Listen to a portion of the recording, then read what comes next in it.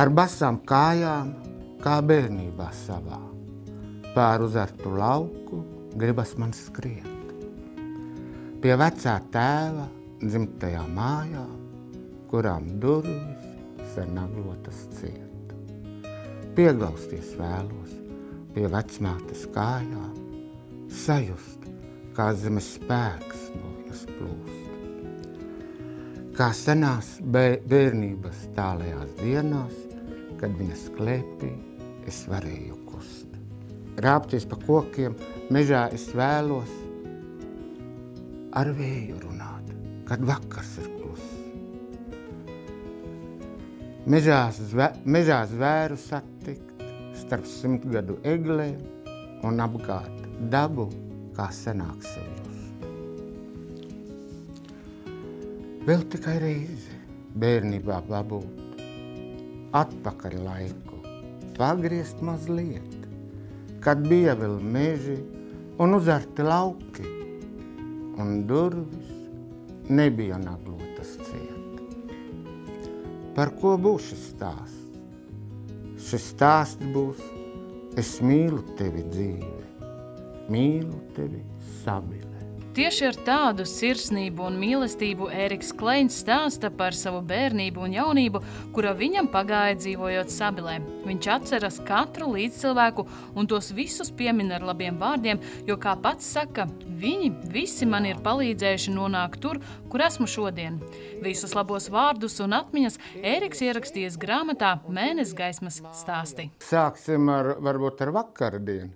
Ar vakardienu es biju mazais zēns, kas uh, mīlēja savu zemi, kur viņš piedzima un kur viņš sāk iet skolā, kur viņš iepazinās ar savs, savas pilsētas iedzīvotājiem, nu, gan ar romiem, gan ar latviešiem un citautībām iepazīstinājās. Pusaudžu gados, kā jau beidzu skolu, sāku strādāt, protams, un uh, biju iesaukts kara dienas armijā, biju iesaukts, kur nodienēju. S, uh, atbraucot mājās, ka beidz dienēt, es iesaistījos Sabilas kultūras dzīvē. Man kaut kas ir jādara. Priekš cilvēku, kas mūs izglāba, mūsu Sabilas uh, iedzīvotājus. Tieši konkrēti čigāņus. Kaut gan arī ebrejus viņš, viņš Mārtiņš Bērziņš brīdināja. Bet nu, ebreji citi ne, neticēja tam baismīgam notikumam, un citi palika, kuri bija nolemti nošaušanai pāri 300 cilvēkiem. Un viņš arī brīdināja mūsu romus. Viņš brīdināja mūsu romus, bet romi no savas sabiles nekur neaizceļoja. Un lūk, par godu tam 1988. gadā man tāda vīzija parādās, ka man kaut kas jādara viņa labā. Jo viņš izglābot mūsu romus, mēs esam viņam latvietim, šim cilvēkam latvietim ar lielo burtu, un kaut kas bija jādara. Un tad es apstaigāju savus romus, gan arī kas jau bija uz citām pilsētām, ar, ar laiku nu, aizceļojuši uz citām pilsētām. Es aizbraucu pie viņiem, sarunājos, palīdzējām, visi Romi, cik varēja, bija iespējams. Uh, nu, savācām naudiņu un uzstādījām viņam Seniņu kapus pieminekli. Tas, tas notikās 89. gadā. Svarīgi tas, lai vēsturē viņu atcerētos. Ne tikai mēs, Romi, bet tieši eh, no latviešu puses, ka bija viens latvietis tāds, kam bija svarīgi tas brīdis, tas moments, ka, ka, kas, kuram nebija vienaldzība, lai būtu likvidēti šie cilvēki. Mārtiņa Bērziņa vārds čigāniem esot svēts, jo viņš 1941. gadā nepaklausīja nacistu pavēlēm un no nāves izglāba 300 sabiles čigānu, kas jau stāvēja pie pašu izraktas bedres un gaidīja nošaušanu. Tad, kad atnāca tā pavēle šaut, vai ne, nu, tad, protams, viņš arī brīdināja tos romus. Un, nu, ka pienāca tā diena, kad nu, veda, teiksim, nak, nāca la, teiksim, mašīnām, viņus ielika mašīnā, lai, lai kāp iekšā mašīnās, un neteica, kur viņi, viņus vedīs. Bet Mārtiņš Bērziņš jau to zināja. Un uh, viņi aizbrauca uz šo vietu un lika rakt viņam bedri. Un tad, kad tā bedre jau bija izrakta, tad Jānis Kleins lūdza, lai atļauj pēdējo dziesmu nodziedāt uz atvadām. Un tad redzēja, kad pa ceļu brauc Mārtiņš Bērziņš un plivina nu, tā rokās to papīru, to vēstuli, ka ir atcelts nešaut.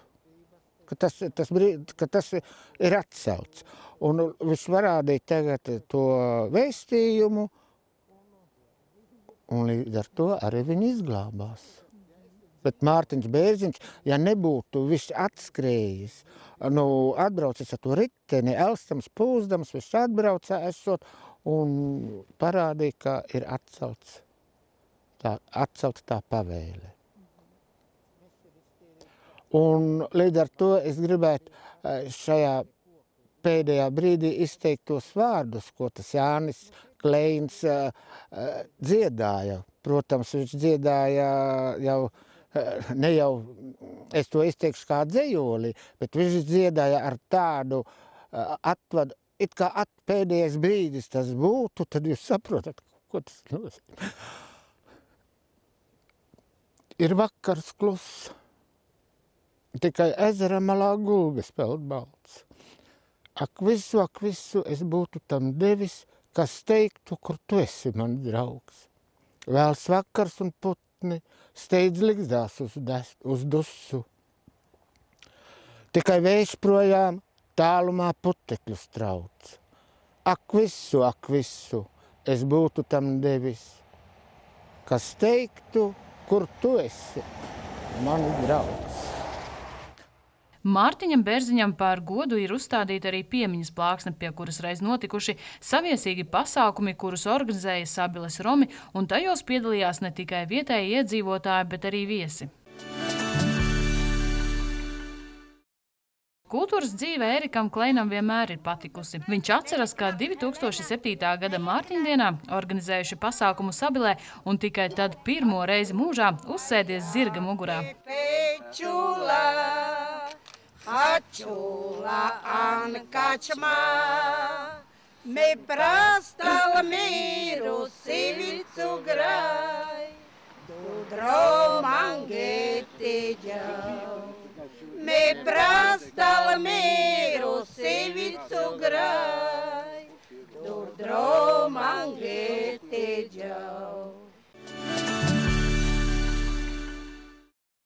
Lai gan nu jau 12 gadus Ēriks Kleins dzīvo Anglijā, savu sabili nekad neaizmirst. Grāmatu mēnesis gaismas stāsti bija plānots izdot jau pavasarī, tāpēc viņš atbraucis uz Latviju. Diemžēl ne viss notiek tā kā plānots, bet grāmata būs, un ar čigānu dzīvi sabilē iepazīties varēs jebkurš. Tā mēs atrodamies uz Sabilas pilskalnas ielu. Tautā kādreiz viņi nosaucās par cūkieliņu. Arī tagad, vēl šodien, kuri zina, tie viņu sauc par cūkieliņu. Bet manas bērnības dienas aizgāja šeit, Pilskalnī. Te bija māja, Pilskalni ielā 12, kura saimniece bija, tā bija privātu māja, un saimniece bija Kalniņkundze. Tā ieeja bija pat šeit. Ieeja bija šeitin, jo es atceros šitos ceriņu krūmus. Tie bija vispirms, un tad ieja bija šeit. Tā. Ieja bija šeit, un tur bija māja. Tur dzīvoja skudrīšs onkuls. Un mans pirmais bērnības draugs, Raimonds, kurš bija ciemos pie Omes, atbraucis katru vasaru pie savām omēm no Rīgas. Un tas bija mans pirmais bērnības draugs, šeit parciņā mēs spēlējāmies. Un kuram uzticējām vienmēr savus noslēpumus un savus, uh, ka nekad uh, mēs uh, neaizmirsīsim savu bērnību.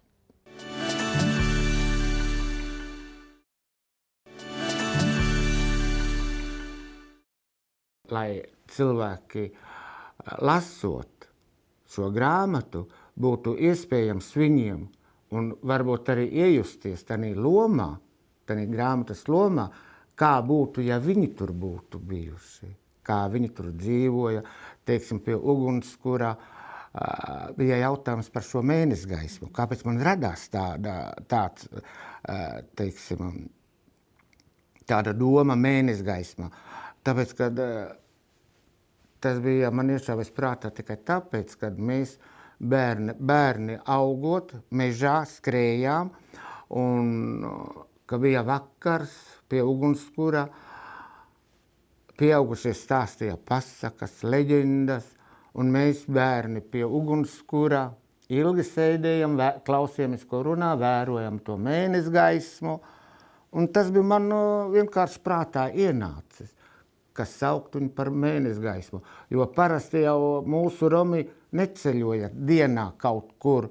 Viņi, teiksim, vai nu pēcpusdienā izbrauca uz mežiem, jeb uz kolhoziem, kur bija sarunāts viņiem, teiksim, kolhoz periodā ražas, ka bija raža, teiksim, bija šuravēšana, jeb kartupeļu novākšana. Viņi jau iepriekš to runāja, kur un kā. Un, un pēcpusdienā, kad bija sabili sabraukuši no visas kurzemes, tas tabors, mūsu tabors, kalniņa mājā, kur es uzaugu.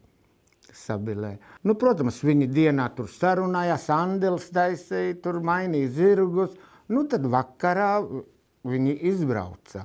Un tas bija ļoti interesanti, kad vērojams, vakar, teiksim, ka viņi naktī brauca, vērojams tās zvaigznes un, un mēnesi gaismu. Un tas man viss palika tik spilgti atmiņā, lai es ejot kur, vai nu šodien es esmu Anglijā, jebkur, man vienmēr nāk prātā tie cilvēki atmiņās, kas man mācīja sabilē.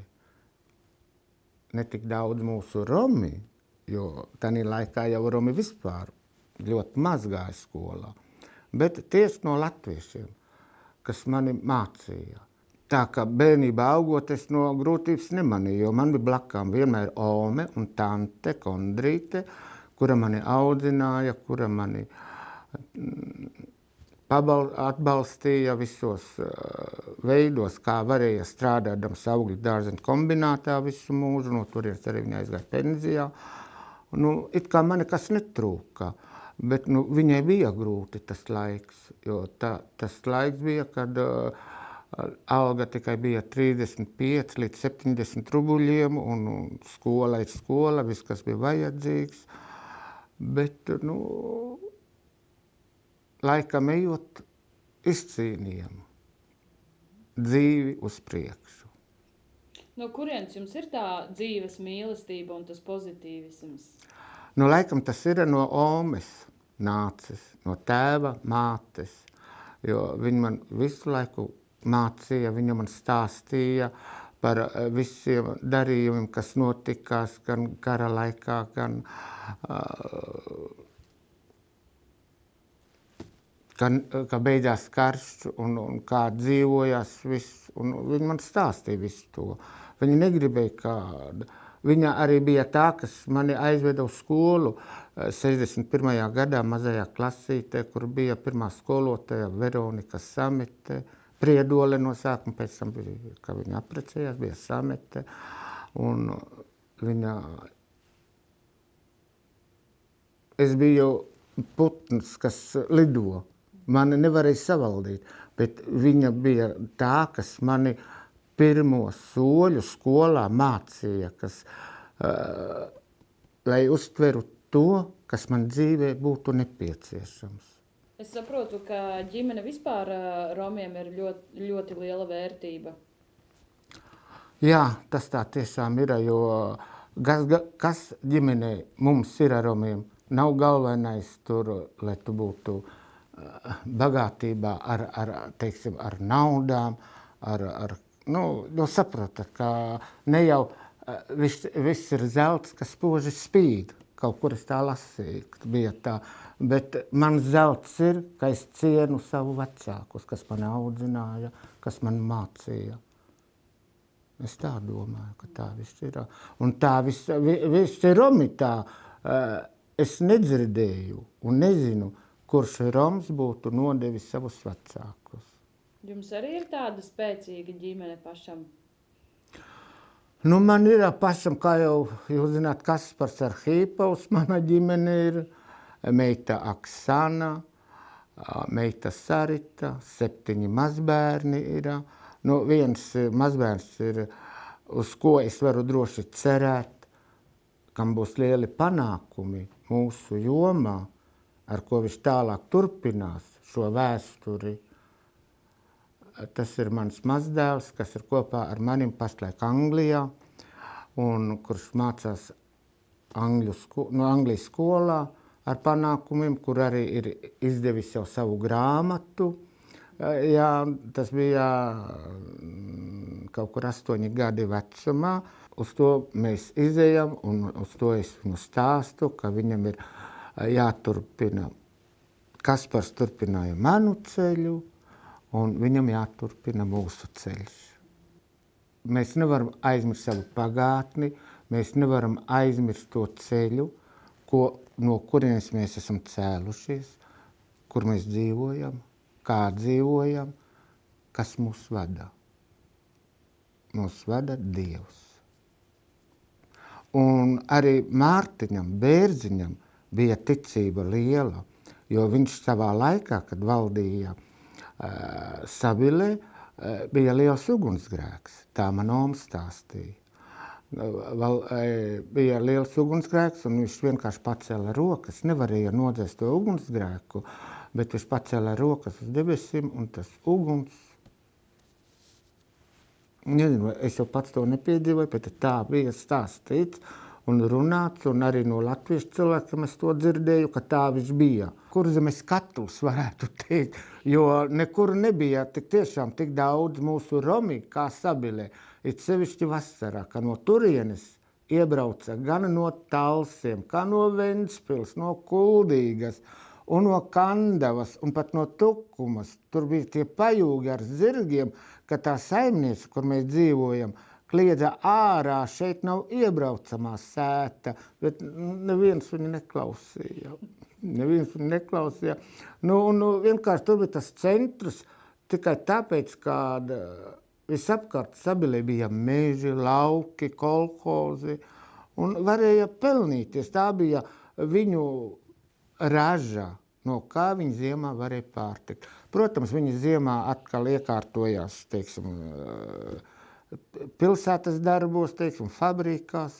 Vasarā tas jau viņiem bija viņu uh, peļņas avots. Tas viss tajā grāmatā mēnesis gaismā ir aprakstīts. Jā, jālasa.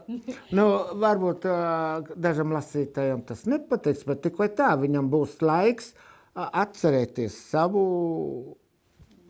pagātni, savu, tieši savu bērnību. Ko viņš redzēja, ko viņš jūt savu pirmos, savus pirmos draugus. Ar Zaigas Nordenes, kā mēs piektajā klasē mācījāmies, tur mums arī bija, ka es viņai izrāvu matu kusti no, tā bija pirmā mīlestība man. Pirmā mīlestība bija tā, ko es vēl ne, nesapratu. Vienkārši es redzēju, kā mūsu Romi savas sievas turēja. Nu, it kā mīlēt, nezinu, kā viņi to darīja, bet viņi pēra savas sievas. Un, un, es arī tā iedomājos, bet es esmu rams. Klaus, no ko viņa man patīk? Nu, kas tā lieta ir? un vienkārši pie, nu, viņa to nesaprata. Tomēr viņa latviešu meitene. Kā viņa varēja saprast to? Mēs bijām dežurantu klasē, un viņa man patika ilgi jau no pirmās klases skolas dienas, kad es gāju, un, un, un man iepatikās. Varbūt tāpēc, ka es biju tāds uh, attīstītāks. Nezinu, kā tas bija, bet nu, viņi man nepatikās. Un, nu, lūk, es izdarīju to variantu, un, un, un, un ienākot skolotājā, ienā, ienākot skolotājā, Un, un Zaiga pateica, nē, skolotāja teica, Zaiga, ko tu raudi?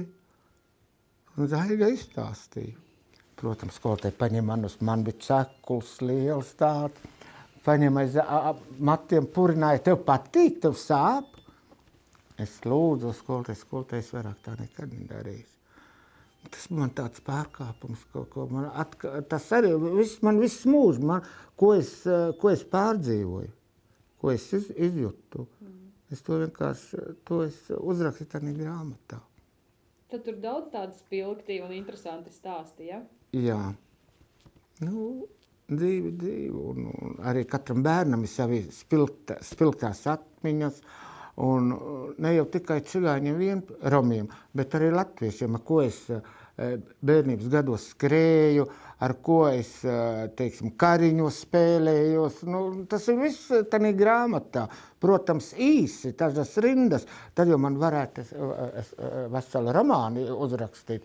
Bet nu, tas ir tāds ļoti maz izmest ārā, jo lasītājs jau sapratīs, ka tas nav, nav, tas nav romāns, tie ir stāsti ko, no bērnības, ko es uh, atceros. Un lai es to varētu uh, piefiksēt, es tādas rindiņas. Un tas uh, draugs, jeb tas stabils teiksim, cilvēks.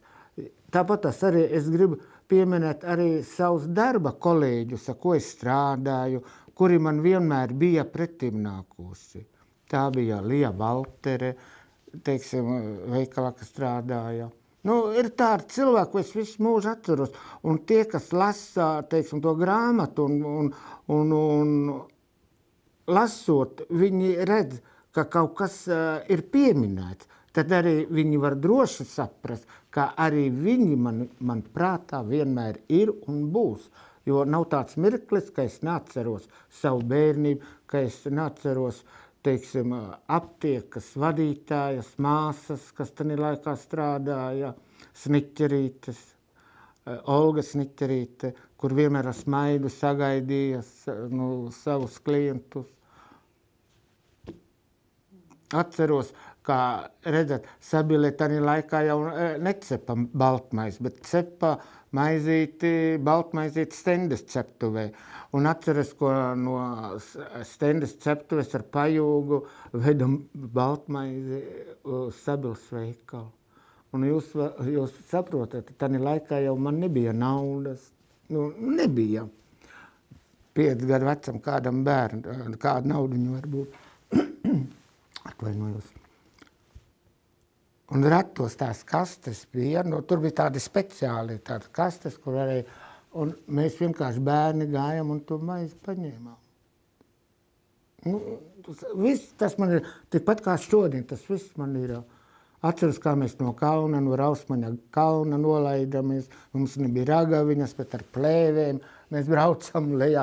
Un bija ir latviešu bērni, un, un mēs bijām romu bērni. Nu, vien tāda pikants, darīja pikants, ne, bet viens, nu, pikants varētu to saukt, kad uh, vecāks par mums bija pikāts saucamais vārdā. Un vi, viņš gribēja pierādīt, ka viņš no to Rausmaņa kalna nolaidīsies stāvus. Viņam bija girza zābaki, kā šodien es atceros, un viņš ka nāca lejā un krita un uz, uz ledu pārsita to ceļgali, ja? Nu ko? Ko darīt? Jāved uz slimnīcu, bet kā? Viņš nevar paiet. Vienam latviešu puikam bija ragaviņas, tas iedeva savus ragaviņas, davai vedam projām uz Sabilas slimnīcu, tā sarkanā, tur sarkanas tās slimnīcas Sabilas, un to mēs vedam projām viņu. Ko viņam darīja sašķinot to ceļu? Nu, tā mēs dzīvojām.